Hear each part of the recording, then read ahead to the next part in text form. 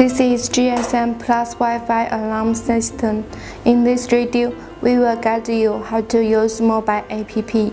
For example, how to connect Wi-Fi on alarm host, how to authorize more users to use app, how to add IP camera. First, download app from Google Play and Apple Store. Apple Store, user need to search e-Wi-Fi GSM alarm system. Google Play search Wi-Fi GSM alarm system. After download app, user need to click the sign up free button to register an account. Avoid to forget the password.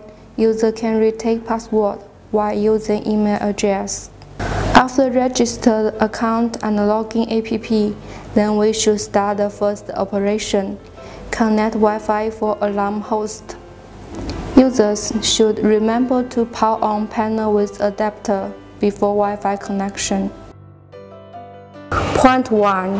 How to connect Wi-Fi while using Android mobile phone. Firstly, connect network for smartphone. Turn to app, click Wi-Fi setup in Android app. Suggest click plain text password. Input Wi-Fi name and password. Then go to alarm host to find Wi-Fi menu. Go into the start menu. Click right left button to choose Wi-Fi on off. Choose Wi-Fi on to make panel work with Wi-Fi. Choose Wi-Fi off to make panel work with GPRS network. Then choose Wi-Fi bonding. After the menu appear, go to Mobile Click Connect on app. Then click Android mobile phone connecting.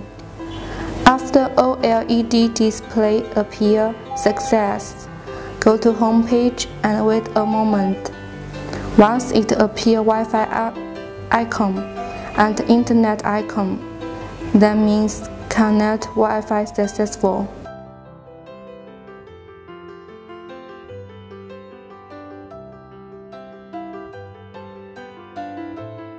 Point 2. How to connect Wi-Fi while using iPhone. Firstly, connect network for smartphone. Turn to app, click Wi-Fi setup in iPhone. Suggest click plain text password. Input Wi-Fi name and password. Then go to alarm host to find Wi-Fi bonding menu after appear, go to Mobile Click Connect on app. The next operation will be different. You should go to iPhone setting menu and find IWTAC. Click it, then go to app Wi-Fi Connect interface and click Connect. Then wait for Wi-Fi bonding. After OLED display appear, appear success, go to home page and wait a moment. Once it appear Wi-Fi icon and internet icon, that means connect Wi-Fi successful. Point 3. Add equipment via QR code. Every alarm host has QR code. The first person who scans the QR code is the administrator. After scan the QR code, User can go to switch equipment to check whether you added equipment successful. After you added equipment successful, then you can operate app all in all functions. Note: Before you scan QR code, avoiding the reseller take long real cover after testing. You may check whether your hand QR code is the correct one. The check way the check way is very easy. Go to Alarm Host menu, find Machine Information, check whether the serial number is same as your hand QR code. If your hand QR code is wrong, you can find the right serial number in the alarm panel. Then you, you can go to make the right QR code with their serial number via network. Note 2. The alarm host only can be controlled by the first person who scans QR code. means administrator. If you are reseller for testing, please remember to unbind equipment after test because the end user can only add the equipment and become new administrator after reseller's account unbind equipment. If you do not unbind the equipment, even, even if you unload the APP, the end user still can't add this equipment. Note 3. If end user fail to add equipment, please try to contact the person who has become the administrator and ask him unbind equipment. If the administrator account is user's old account, user can just log in your old account with new phone and unbind the equipment. It will does not matter if the old account phone number is still work or not. Point 4. Authorization. Our alarm host can be controlled by maximum four users. The first user who scan QR code is administrator. He can give authorization or he can give authorization to other three users. For other three users, Please remember to download app and sign up firstly and get the right to be authorized. Then administrator can successfully give authorization. Login app. Go into authorization menu. Click authorization button. Choose input user ID and then input the authorized person's cell phone number. Remember this authorized person's cell phone number should be registered before this operation.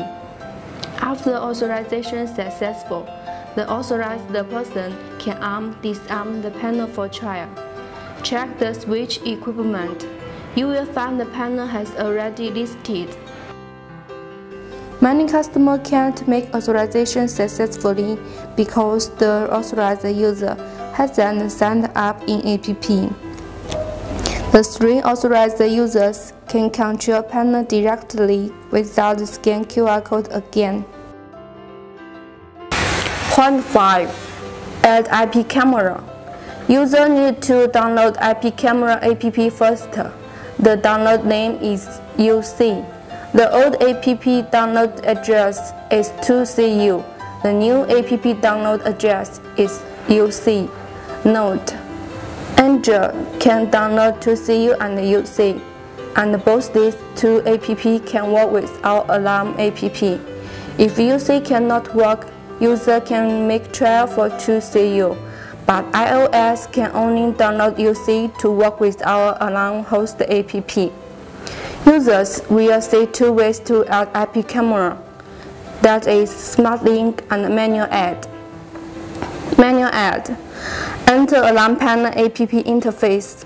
Press Monitor button to enter IP camera device list interface. Press the Add button on the top right corner and choose Manual Add. Now enter IP camera ID. Input device name and input device password. Press Save to finish adding. Now power on the IP camera and connect IP camera with network cable. Then the IP camera can connect with network, refresh device list. Then users can see the IP camera will be online. Click that IP camera device, appear playback setting and edit buttons. Choose setting to enter below interface. Choose network settings to enter below interface. Choose the accessible Wi-Fi in the list. Enter password and press OK button to finish setting. Then device can work with Wi-Fi network and users can pull up the network cable.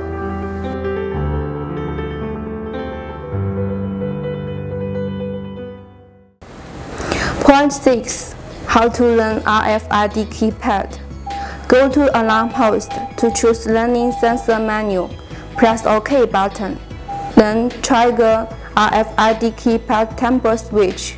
Once the alarm host appears success, then learning successful.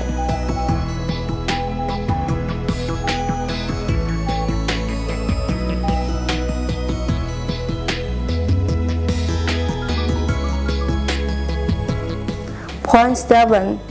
How to learn white siren.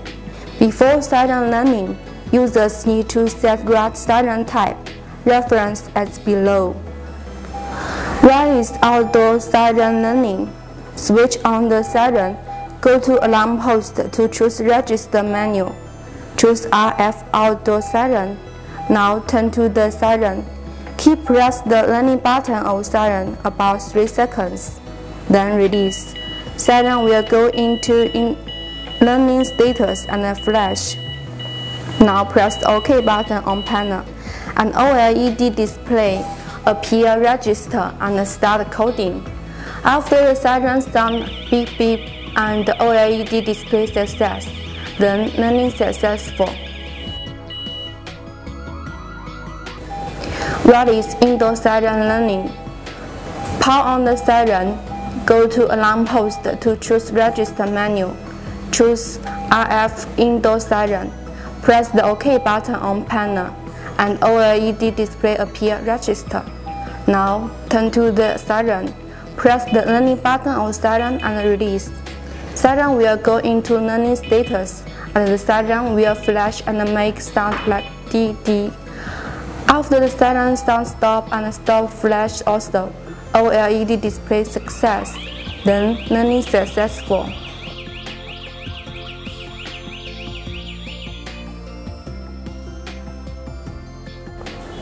Point 8. About GPRS network. When SIM cards have access to GPRS function, Alarm host will work with GPRS network in, in below two cases. A. Alarm host work with Wi-Fi while suddenly alarm host AC power failure. Then alarm host will automatically switch to work with GPRS network. B. If users have turned off Wi-Fi on alarm host, then the alarm host will work with GPRS network.